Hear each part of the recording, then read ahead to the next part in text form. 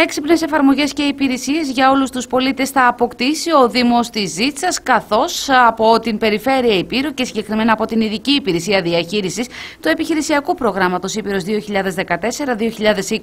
δόθηκε το πράσινο φως για την υλοποίηση εφαρμογών έξυπνης πόλη συνολικού προπολογισμού 220.000 ευρώ. Η πρόταση του Δήμου Ζήτσας για ανάπτυξη πλατφόρμας έξυπνης πόλης εντάχθηκε με απόφαση του Περιφερειάρχη Αλέξαρου Καχρημάνης και μέσω αυτής θα παρέχονται με δομημένο τρόπο δεδομένα και υπηρεσίες προς τους πολίτες, τους επισκέπτες, τις επιχειρήσεις και τα στελέχη του Δήμου.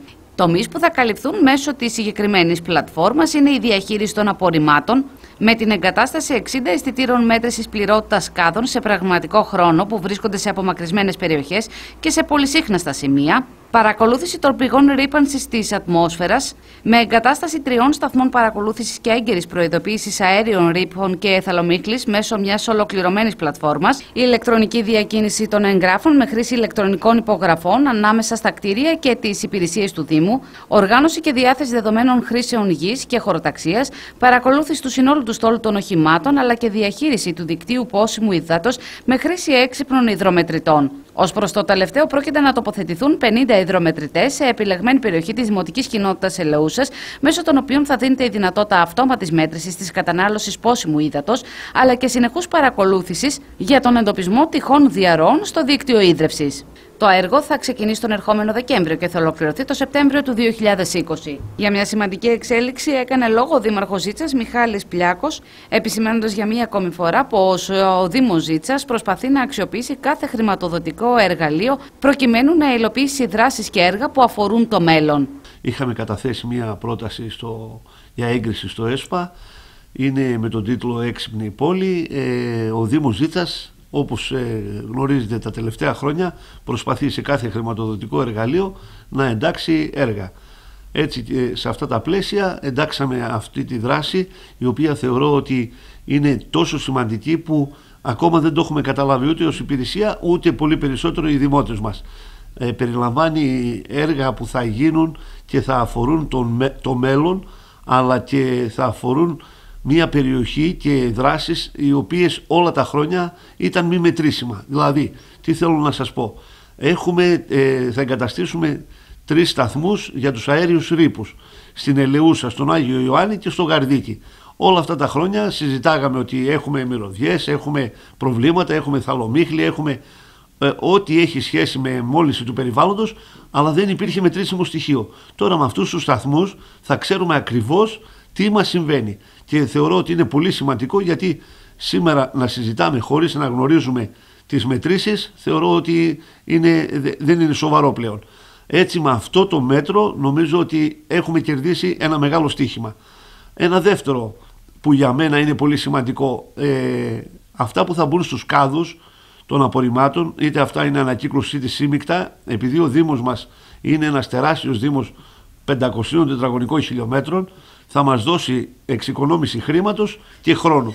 Δηλαδή θα πηγαίνουμε να κάνουμε αποκομιδή σε κάποια απομακρυσμένα σημεία του Δήμου εφόσον γεμίζει ο κάδος και όχι να πάμε να τον βρούμε άδειο γιατί είχαμε έλλειψη κατοίκων και ο κάδος κατά συνέπεια είναι άδειος. Είναι πολύ σημαντικό και θα μας οδηγήσει και σε περαιτέρω βήματα που για μένα είναι, δεν σας κρύβω ότι το όνειρό μου είναι όλα να πάμε κάπου εκεί σιγά σιγά. Να μπούμε δηλαδή σε μια δράση η οποία όλοι οι κάδοι μαζί με τα απορριμματοφόρα θα έχουν αυτή τη συνέργεια. Είναι πολύ πολύ σημαντικό. Τρίτη δραστηριότητα πολύ σοβαρή.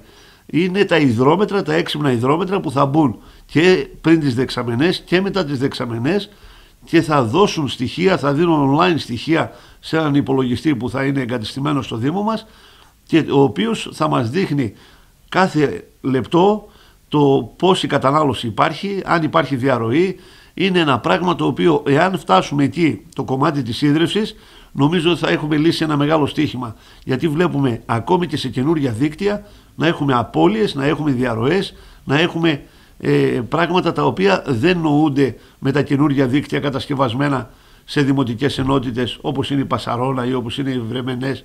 Ε, προσπαθούμε γενικότερα σε κάθε τομέα να εξυγχρονιστούμε και να δώσουμε λύσεις κυρίως στους δημότες και μετά και στις υπηρεσίες.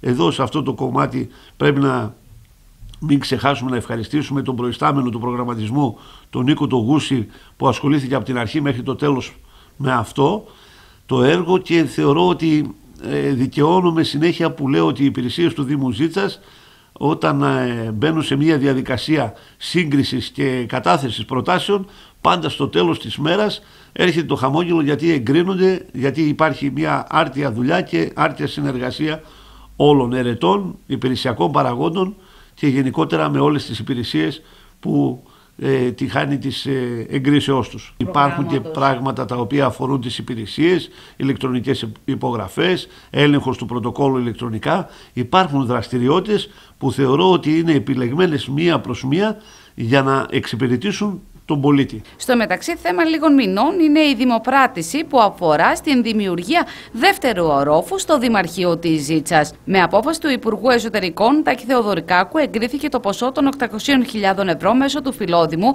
ώστε το Δημαρχείο τη Ζήτσα να ψηλώσει κατά έναν όροφο. Η δημιουργία του δεύτερου ορόφου προβλεπόταν από την αρχική μελέτη του έργου και έτσι με δεδομένο ότι η μελέτη υπάρχει, όπως και όλες οι προβλεπόμενες εγκρίσεις, απέμενε να εξασφαλιστεί η χρηματοδότηση. Οι προσπάθειες είχαν ξεκινήσει από τον προηγούμενο Υπουργό Εσωτερικών, Αλέξη Χαρίτσι, ο οποίος είχε εγκρίνει το ποσό, χωρίς όμως να περιλαμβάνεται ο ΦΠΑ, με τον νυν Υπουργό να εγκρίνει τελικά το ποσό των 800.000 ευρώ. Όπως τόνισε ο Δήμαρχος Ζήτσας, Μιχάλης Πλιάκος, ήταν επιτακτική η ανάγκη για την δημιουργία του δεύτερου ορόφου λόγω της στενότητας που υπάρχει σήμερα, ώστε οι υπηρεσίες, οι υπάλληλοι και πολίτες να βρίσκονται σε πιο άνετους χώρους. Είναι πέρα από όραμα, είναι επιτακτική ανάγκη, θα έλεγα υπάρχει στενότητα χώρου πλέον. Ο Δήμος ε, έχει μεγαλώσει με όλη την ε, ε, σημασία της λέξης και το προσωπικό πρέπει να είναι σε θέσεις έτσι ανέτα κατα, κατανεμημένο που να μπορεί να κάνει αν μη τι άλλο τη δουλειά του. Ε, σκοπός και στόχος μας με αυτή την ένταξη είναι να κατασκευαστεί ο δεύτερος όροφος στο Δημαρχείο, κάτι που προβλεπόταν άλλωστε από την αρχική μελέτη, αλλά στην πορεία δεν είχε βοδοθεί. Είναι μια διαδικασία που ξεκίνησε από τον προηγούμενο Υπουργό, από τον κύριο Χαρίτσι, ο οποίος είχε εγκρίνει ένα ποσό το οποίο ήταν χωρίς το ΦΠΑ. Το οποίο όμως ΦΠΑ είναι γύρω στους 200.000 ευρώ, οπότε είναι σημαντικό. Γι' αυτό και με αλλεπάλληλες επισκέψεις στον κύριο Θεοδωρικάκο καταφέραμε και μας εγκρίθηκε το ποσό των 800.000 ευρώ τα οποία θα κάνουμε αποδοχή το, τη Δευτέρα στο Δημοτικό μας Συμβούλιο για να πάμε γρήγορα γιατί υπάρχει μελέτη, υπάρχουν όλα για να πάμε σε δημοπράτηση της κατασκευής του δευτέρου ορόφου του Δημαρχείου. Νομίζω ότι αυτό είναι το δίκαιο και για την ε, περιοχή και για το Δήμο μας, αλλά κυρίως και πάνω απ' όλα για τους πολίτες και για το υπηρεσιακό δυναμικό.